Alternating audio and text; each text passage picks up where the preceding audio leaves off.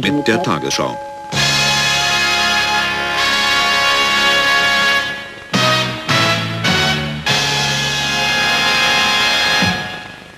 Meine Damen und Herren, guten Abend. Die Streiks an der polnischen Ostseeküste haben heute auf weitere Landesteile übergegriffen. Arbeitsniederlegungen werden aus Lodz und erstmals auch aus der schlesischen Metropole Breslau gemeldet. Unterdessen haben auf dem Gelände der Danziger Leninwerft neue Verhandlungen zwischen dem überbetrieblichen Streikkomitee und der Regierungskommission aus Warschau begonnen. Sie treten jedoch offensichtlich auf der Stelle.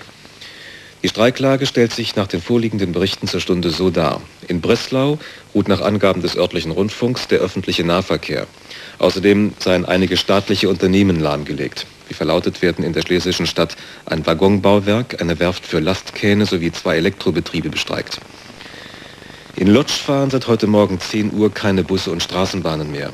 Hier wird ebenso wie in Breslau von Solidaritätsaktionen für die Streikenden an der Ostseeküste gesprochen. Allein in der Dreierstadt Danzig-Zoppot-Gedingen soll sich die Anzahl der bestreikten Betriebe heute auf 480 erhöht haben. 300.000 Menschen befinden sich im Ausstand. In Stettin bezeichnete der dortige Rundfunk die Lage als besonders kritisch. Die Beschäftigten von 30 weiteren Betrieben sollen sich dort im Laufe des Tages dem Ausstand angeschlossen haben. Auch in Elbing ruhen der öffentliche Nahverkehr und die Arbeit im Hafen. Die Verhandlungen in der Danziger Leninwerft sind vor allem deshalb festgefahren, weil die Streikenden auf der Gründung freier Gewerkschaften beharren. Das aber lehnt der stellvertretende Ministerpräsident Jagielski als Leiter der Regierungskommission weiter ab. Streikführer Valenza erklärte, nur wenn die politische Führung in diesem Punkt nachgebe, sei das Streikkomitee unter Umständen bereit, einige der übrigen 20 Forderungen fallen zu lassen.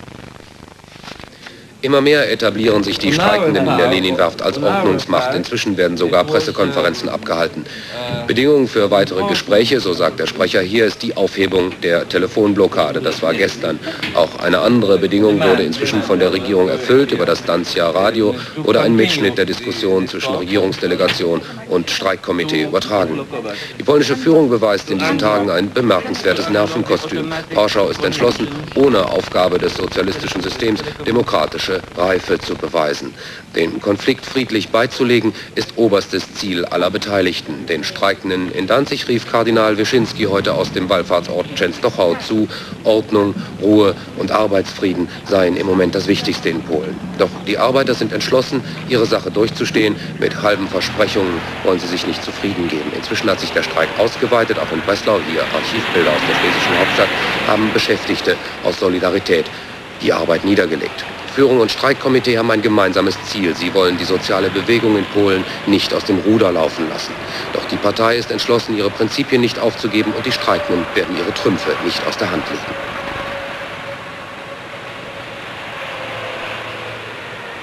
Bis 600 Betten haben die beiden größten deutschen Reiseveranstalter ständig in der Dreistadt während der Saison gemietet. Aber in diesem Jahr fahren sie, die deutschen Touristen, früher als geplant mit dem letzten Sonderzug nach Deutschland zurück, denn die Fähre, die eigentlich das beliebtere Transportmittel ist, die fährt nicht, weil sie nicht in polnische Gewässer einfahren durfte. 1200 Reisende fallen so in der Jahresbilanz der Reiseveranstalter aus. Drei Wochen wollten wir bleiben. Haben Sie was vom Streik gemerkt? Eigentlich nicht, aber gesehen haben, dass die Leute... Aber wie war es denn mit dem Hotelessen? Bitte? Wie war es mit dem Hotelessen? Also wir sind zufrieden gewesen, ja, doch. Für die Touristen wie für die Bewohner der Dreistadt wird das Leben langsam schwieriger. Zwar wird weiter für die Zufuhr von Grundnahrungsmitteln gesorgt, sodass niemand hungern oder frieren muss, doch je länger der Ausstand dauert, desto problematischer werden die Folgen, nicht nur hier in Danzig, sondern im ganzen Land. In Warschau tagt heute eine Sitzung des Zentralrats der Gewerkschaften. Es geht um grundsätzliche Reformen des Gewerkschaftssystems in Polen, die der Führung durch die streikenden Arbeiter aufgezwungen worden sind.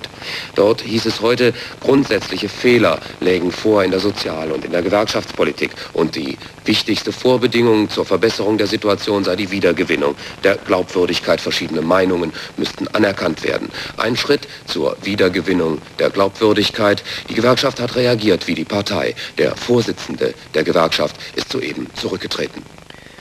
Der zurückgetretene Gewerkschaftschef Jan Schittlack hatte bereits am Sonntag seinen Sitz im Politbüro der polnischen KP verloren. Zum neuen Vorsitzenden des Gewerkschaftsverbandes wurde der Chef der Metallarbeitergewerkschaft Jankowski gewählt. Auf dem Gewerkschaftskongress in Warschau wurde ferner angekündigt, dass künftig für die Mitglieder der staatlich gelenkten Gewerkschaften, der staatlich gelenkten Gewerkschaften ein Streikrecht eingeräumt wird. Zu den Ereignissen in Polen hat sich heute zum ersten Mal das sowjetische Außenministerium geäußert. Vor ausländischen Pressevertretern sagte ein Sprecher, es handele sich um eine rein innerpolnische Angelegenheit. Die Beziehungen zwischen Moskau und Warschau seien, so wörtlich, jetzt wie zuvor von vollem gegenseitigen Verstehen und von Zusammenarbeit auf allen Gebieten gekennzeichnet. Und nun noch einmal zu den Ereignissen in Polen. Kardinal Wyszynski, Primas von Polen, ging heute indirekt auf die Streiks im Lande ein. Soeben hat das polnische Fernsehen diese Bilder von der Predigt Kardinal Wyszynskis im Wallfahrtsort Częstochow veröffentlicht. Darin ermahnte der Kardinal die Nation zur Ruhe und Besonnenheit. Den Arbeitern räumte er zwar das Recht zum Streik ein, dies sei aber sehr kostspielig und schade der nationalen Wirtschaft und damit letztlich auch den Familien und jedem Menschen. Wyszynski wörtlich, Je gewissenhafter wir arbeiten, desto weniger Schulden werden wir machen. Zu den Forderungen der Streikenden sagte der katholische Primas von Polen, sie könnten nur in Raten verwirklicht werden. Nicht alle Wünsche könnten schon heute erfüllt werden.